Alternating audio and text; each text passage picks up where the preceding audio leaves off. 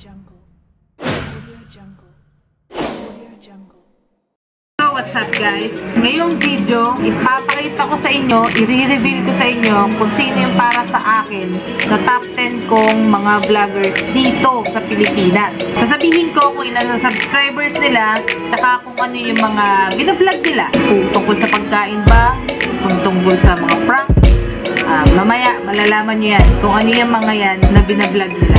Kung gusto nyong malaman, watch until the end.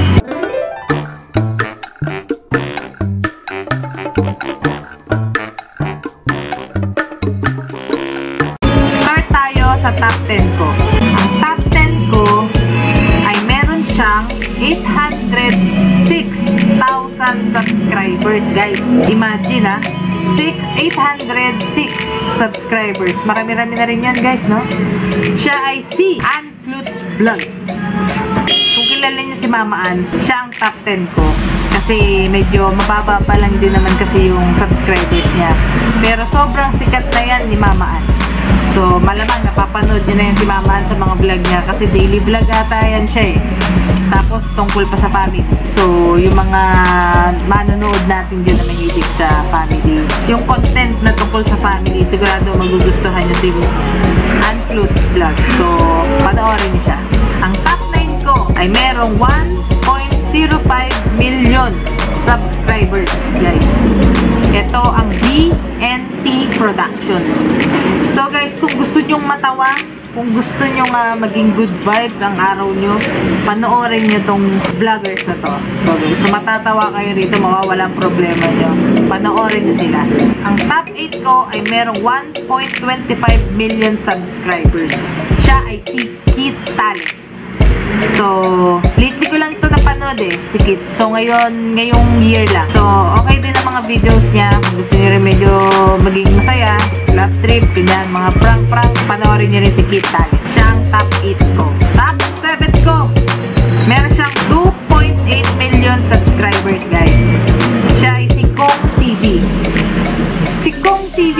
guys, hindi ko siya ganun kakilala. Hindi ko talaga siya kilala. Pero sinama ko siya sa top 7 ko siya kasi nasa 2 million na siya. So sinama ko siya dahil Pilipino siya. Top 6 ko naman guys ay merong 3.82 million subscribers. Siya ay si Lloyd Cafe Cadena. So si Lloyd. So kung gusto nyo rin maging good vibes, kung gusto nyo ma maging masaya ang araw nyo, etong panoorin nyo yung mga vlog niya. So, sobrang matatawa rin kayo. Uh, may inspired din ata kayo. Happy-happy lang talaga ang vlog nito ni Lloyd. So, thumbs up din ako kay Lloyd. So, guys, ang top 5 ko ay merong 4.37 million subscribers. Hindi siya magkakaroon ng ganitong kataas na subscribers? Eh, siya lang naman si Alex Gonzaga, guys. So, grabe. Malamang, ganito talaga makukuha niya subscribers kasi syempre, kilala na siya. Ang binablog niya kasi madalas parang, parang about paano maging artista.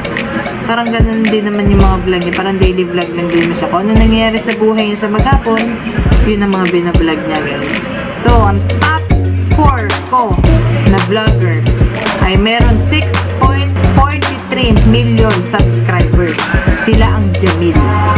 Kilalang kilala na rin to guys, tong Jamil na to. Kasi syempre, mga bata pa kasi to eh. Kaya magte-trending talaga lahat ng mga videos nila.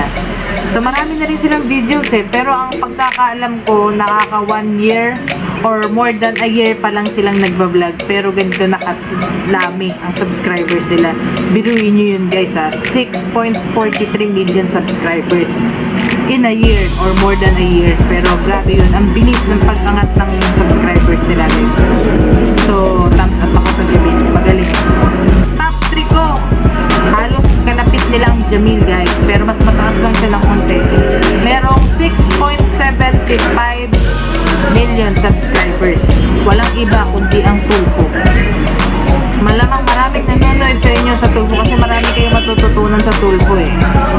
So, andito yung mga case ng ating mga kababayan na hindi nagkakaunawaan na pupunta kay Tulpo yung usapan nila. So, okay din ang Tulpo kasi patas ang Tulpo. So, oh, thumbs up ako sa kanila.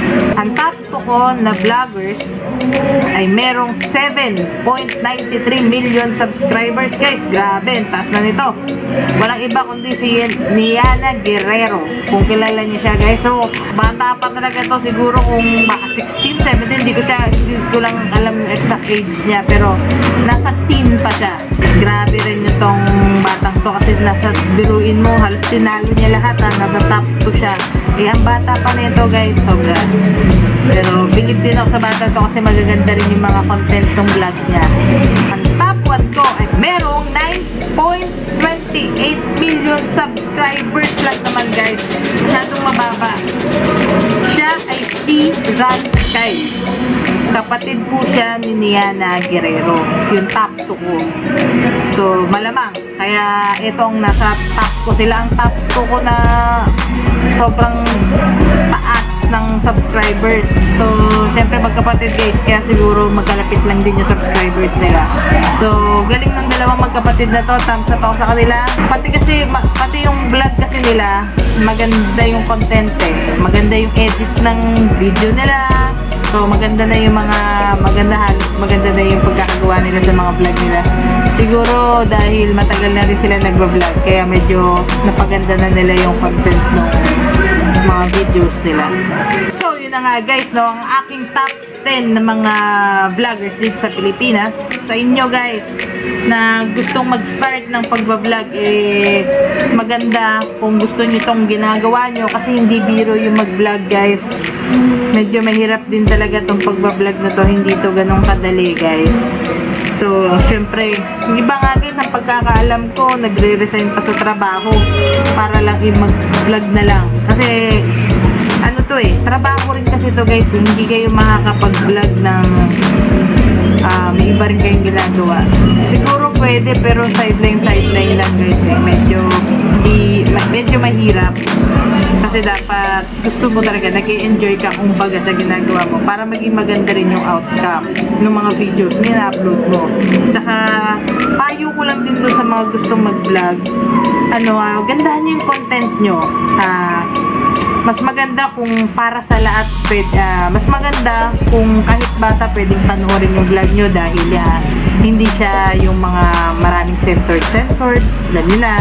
Yung mga bad words walang ganon. Tapos yung walang ah, talagang talagang entertainment lang talaga yung dating ng vlog. Mas para kahit all ages yan pwedeng makapanood sa vlog nyo guys. So ang payo ko pa rin sa mga gusto pa ulit na ay, sa mga gustong mag vlog kasi ako guys ako ako nag start lang ako this year lang 2019 so so far kaya naman mag-upload ng video sa kailangan lang talaga ng matinding oras ng time para sa pag-video, pag-isip ng content, pag-edit, saka sa pag-upload. Kasi minsan pag-export mo pa lang ng video mo, sa pag-upload mo pa lang sa YouTube, sobrang tagal na. So kakain talaga ng ah, medyo malaki-laking oras mo. Sa maghapon mo, siguro ubos ang oras talaga, wala kang ibang magagawa kundi ito lang. So kaya kailangan talaga mo yung ginagawa mo. Kaya kung mahal mo yung pagbablog, magiging maganda rin yung outcome ng mga videos. So, dito sa mga nasabi kong top 10 ko ng mga vloggers dito sa Pilipinas, no? So, ano ako dito sa mga saludo ako sa kanila. Ah, idol ko to mga to. Kasi, hindi, mahi, hindi madaling mag-vlog, guys. Hindi madali. Mahi, ang hirap. Kain talaga ng ay, oras mo, pagod mo lahat. Minsan, gagastos ka pa. You need to spend money para lang makagawa ka ng magandang content. Bibili ka ng magandang camera,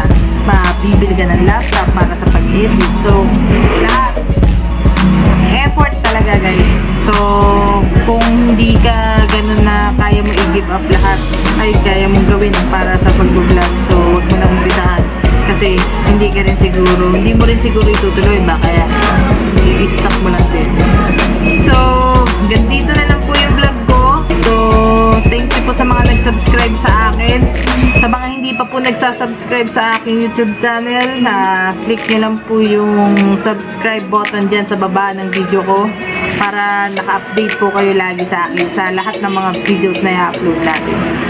So, until next time ulit guys, sa susunod po na vlog, lagi nyo papanoorin ng mga i-upload natin.